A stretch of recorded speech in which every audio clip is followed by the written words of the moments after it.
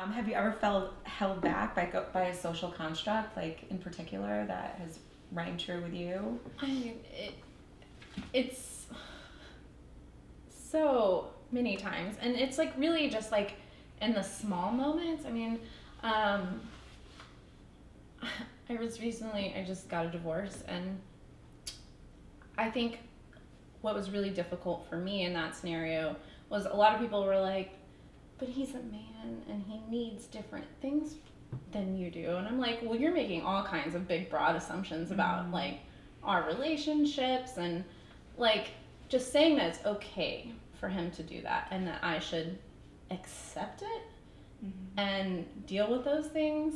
Like that, that was preposterous to me. Like I just Mhm. like, no, it's not acceptable. Like the stuff that came up when this happened. Yeah. Yeah.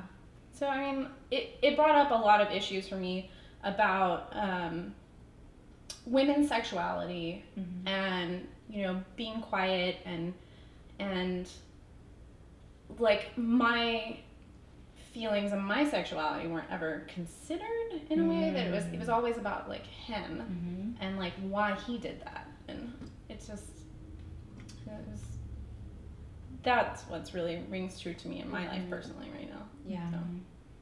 Yeah, it's always the.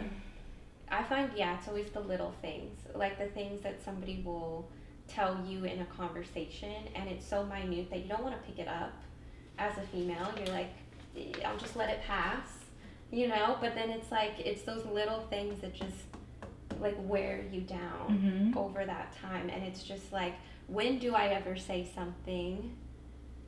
Mm. how yeah. how i think how is the biggest one for me is how do i come across as like not like a raging feminist like when i'm like trying to like Yeah. stand up for myself it's crazy all these I will say that Yeah. when I recently have been confronted by that, I have kind of gone the raging feminist route, and the look on the face of the person has been Sheer terror. great Good. because they're surprised, and um, I think what we're talking about a lot has to do with that perception that like because you're a woman, dot dot dot dot like Yeah.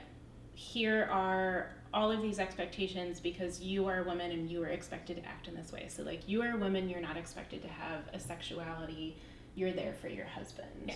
Or Mm. like you are a woman, you're not supposed to be illustrating sexual poses. yeah Yeah. And um, I see that a lot too when you ask like a specific thing where you feel held back, and it's almost like, well, this is like a daily thing. Like Yeah. when I was starting to think about it, it just became this rolling list of like, I've been accused of being like an extremely dangerous driver because I'm a woman, and I'm the most fucking cautious driver.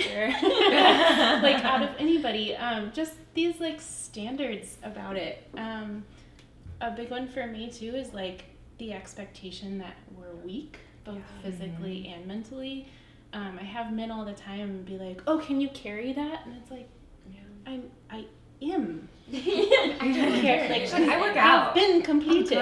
I'm good. yeah. Uh, but I think that just goes along with it, like because you are a woman, there's these expectations, and I think that our goal for part of this and our goal for inviting others to collaborate is like, what are those moments to you? What are mm-hmm. those moments where you've Mhm. just been like, Yeah. like Right. nicely smile, or Yeah. do I rage? Like mm-hmm. yeah. figuring that out, and I think voicing all of those experiences and coming together knowing that you were going to be supported by other women who have been there too Mhm. is sort of like the point behind Yeah. this piece. And then also um, finding connection with others too. We also have you have the opportunity to put your Instagram handle on there, so it, you can be anonymous or not. And some, and then we'll be photographing each of those and putting it on um, the website, Facebook event, so and so and so, whatever. Um, so you can find other like-minded people who feel the same way that you do.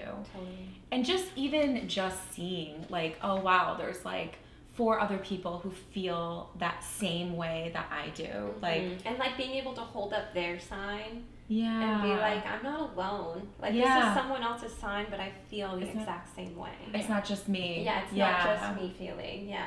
Yeah Yeah. Yes. I'm so excited. I can't wait for November. I can't wait to do this. It's gonna be wonderful. Yeah. Yeah. Yay, I connectivity.